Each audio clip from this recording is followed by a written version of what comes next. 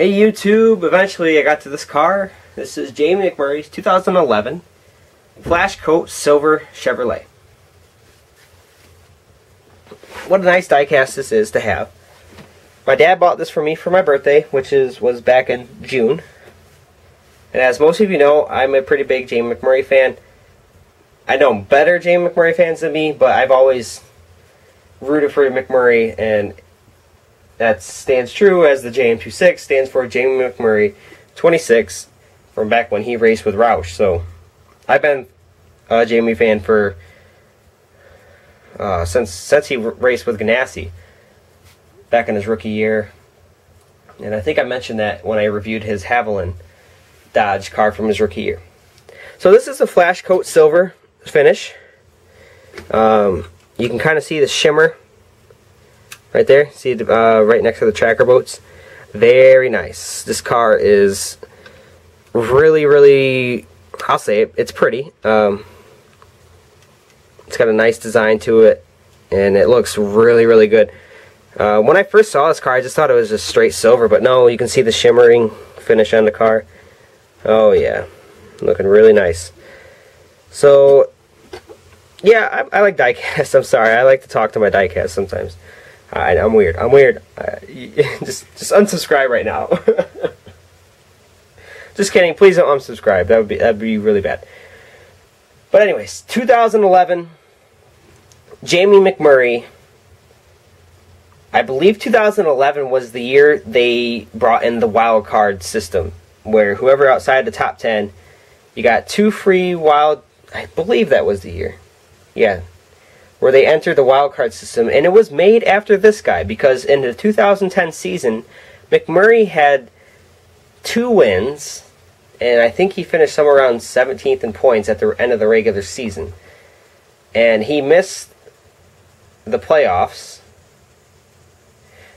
because I believe they expanded the field to 12, but prior to that, I'm not too sure. And then they made it two wildcard positions after that. So whoever had the most wins outside the top 10 would get the wild card, which is what I do in the AFI Cup Series Season 8, for those of you who don't know. And McMurray had two wins in 2010 and missed the chase. And he performed well in the chase, I believe, as well. He, McMurray had a very good 2010 and a very bad 2010, if that makes sense. He was very inconsistent, but sometimes he was just downright good. I mean, he finished second to Denny Hamlin at Darlington. He finished, I think, third at Bristol to Keselowski and Kyle Busch. He won Charlotte. I think he finished second in the Coke 600, or maybe yeah, he finished second in the Coke 600 to Kurt Busch. So McMurray almost won a lot of races that year, and almost, almost as close, but he still got three wins. So Charlotte, um, Daytona, and Indy. But this was 2011, and it was a very, very disappointing year for McMurray fans. I remember like being so pumped up for McMurray because he just had a good 2010. Well, not you know what I mean, like a decent performance in 2010. I was waiting, looking for him just to come out, kick some butt, win some races, and then it never happened. But now we see McMurray, and he's actually running well this season, and the two seasons prior, where he's actually ran really well and made the chase both times. So that was great for McMurray in 2015 and 2016, but 2011 was just such a terrible year for McMurray. But this is his, his standard Bass Pro Shops paint scheme with the flash coat silver finish to it. So once again, the shimmer. And then on the front, you got Bass Pro Shops on the hood, the orange Chevy logo, Impala, number one on the headlight, and then you can see the flash coat silver really shining right there. Number one, Tracker Boats, Mercury, McDonald's, and then a bunch of sponsors I don't know. Tracker Boats and Bass Pro Shops right there. Uh, McDonald's, then looks like a Bass Pro Shops gift card right there. Not sure why. Then Arctic Cat, Share Our Passion. And on the bumper, you got the camouflage, which I always liked about the Bass Pro Shop schemes is they were always run like a camouflage look to it. So very, very nice looking paint scheme. I love this car, and I thank my dad so much for buying me this diecast.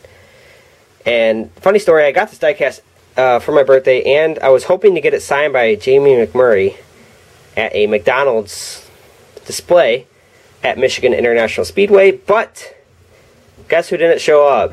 McMurray because you know why? It rained. Boo. I hate it when Mother Nature. This is like the third time it's that Mother Nature has ruined me meeting Jamie McMurray. But oh well. There's always next time, and thank you, Dad, for getting this car for me. And hope everybody enjoyed this little opinion show slash story slash mini review. Thank you everybody for watching. This is JG24, James26, signing out.